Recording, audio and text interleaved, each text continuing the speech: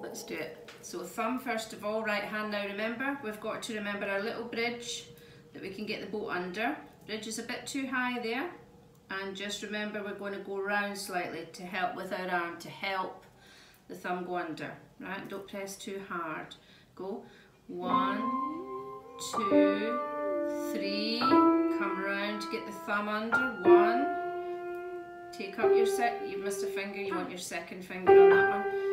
Three, four. Now watch out for this finger being away up here. We need it down. Back down.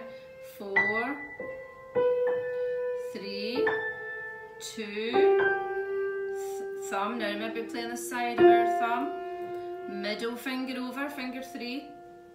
Mm -hmm. Put finger three over. That's it. Three, two, one. And then the left hand, same note. Left hand does the same going down because they're opposites.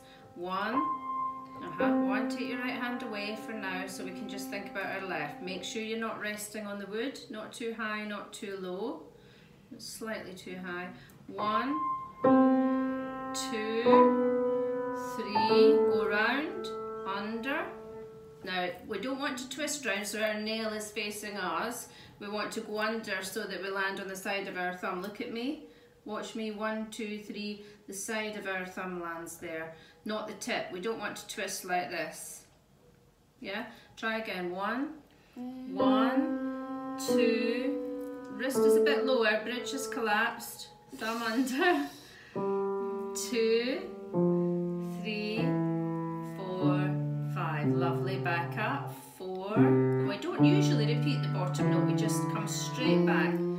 Thumb, middle over, three, now which is our third? Three, uh, three there, three, two, one, good.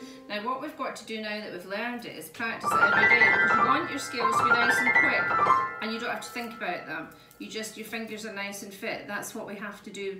It's good to do them as a little warm up just to remind yourself of your scales because we'll have to learn about six at first. We'll do C this week and then next week we'll do G, then we'll do D. We'll work through them that way, but we need to know them and our middle finger needs to be going over a little bit quicker and our thumb needs to be going under a little bit quicker. And then we can do this, which is quite good fun, isn't it? Yeah? So